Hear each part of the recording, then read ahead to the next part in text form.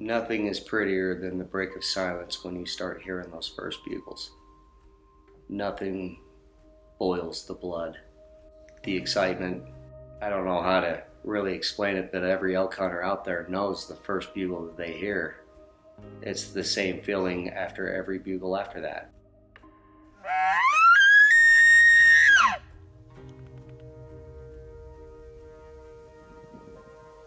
How'd this morning go? Like ass. uh, we did locate some more bulls. We do know where a couple of decent shooter bulls are. My opening weekend bull that I should have shot. He's rounded up some cows, so he's big bodied bull. I'd be happy with him. Weak thirds, but I'd be happy with him. But of course, on an archer hunt, any six point that's over 320 you'd be happy with. So let's get her done. That's on top of our tracks. Last night, that's on top of our tracks.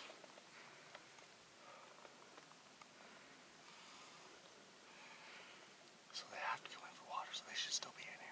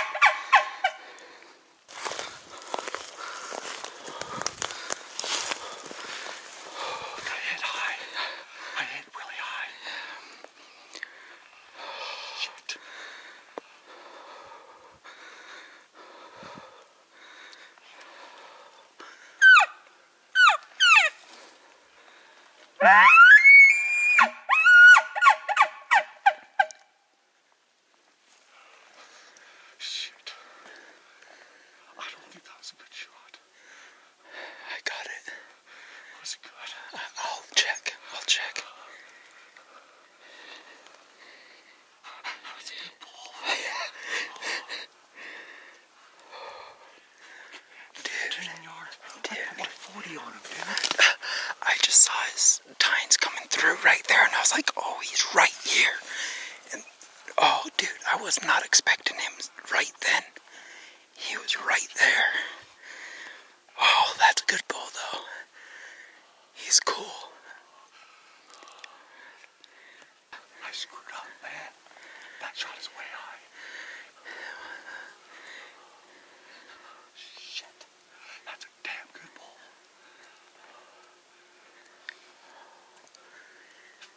Fifteen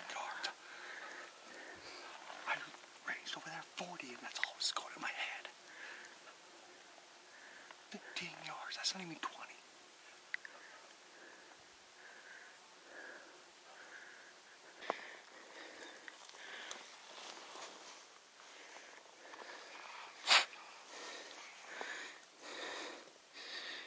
Twenty yards. Twenty yards, and like a dumbass, I put my forty-yard pin on. Because that was always going through my mind. I wasn't thinking.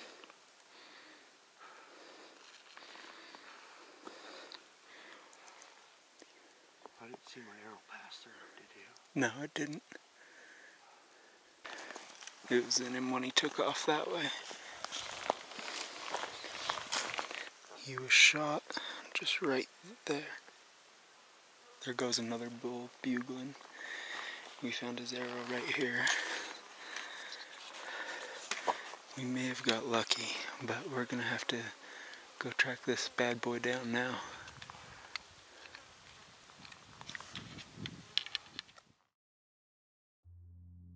we the video over and over and over again, and each time I could see that it was just a solid thump. You could see where he kicked his shoulder up and it launched the broadhead upwards. So it was right into the shoulder, top of the scapula. Got his tracks.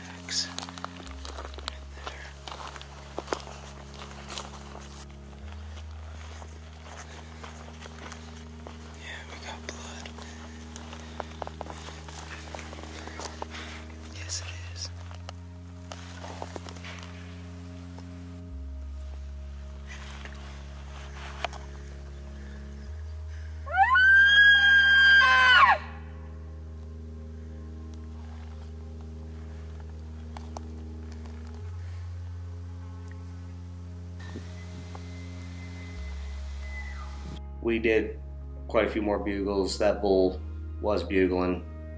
We tried to get on his tracks. We tried to catch up to him, but uh, he seemed to be a little bit more skeptic. Uh, he was a little more cautious. We'd get a little closer, and he'd bugle, he'd bugle, then he'd bugle farther away. And there was no more blood. We weren't on blood anymore. I was confident that the shot wasn't going to cause any permanent damage or winter kill him from sickness or illness. We decided to back off of him, give him a little bit of time.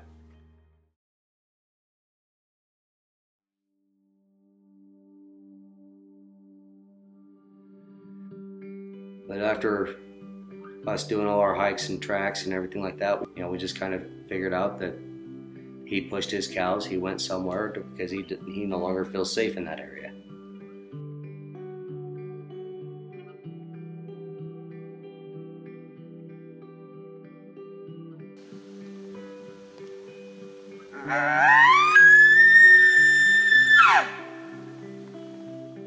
But we happened to come across a set of tines in the brush, and I got all excited. I, th- I thought for sure it was him. I was it's like, heck yeah, he's, he's down. I'm, I'm, we're good. And we ended up coming across a deadhead. And after doing a little bit of inspecting on it and everything like that, we found, you know, there was an arrow with the carcass. And Wes was kind enough to put it on his Instagram. Somebody reached out to him. Wes called me and said, This guy wants to talk to you about the deadhead and this is how I met Mr. Troy Schill. Um, when I called him, he could get he could tell me the length of his arrow, the brand of arrow he was using, the brand of broadhead he was using. Uh, he was adamant about this this bull that he hit the last day, the last hour of last year's hunt. Casey got excited when he saw antlers. It's just deadhead. That's so serious. Look at there's so many arrows. Oh my goodness, yeah. Somebody shot it. I got this bull on trail cam. Oh, crazy. That is gnarly.